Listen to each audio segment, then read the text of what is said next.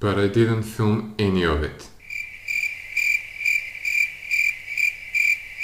I was enjoying the moment so I didn't film anything. That is why the video is so short. But next time I have a cool new idea so stay tuned for that. And that would be it. Like this video if you liked it and subscribe to see more from me and my friends. You can also watch some of my other older videos. Bye!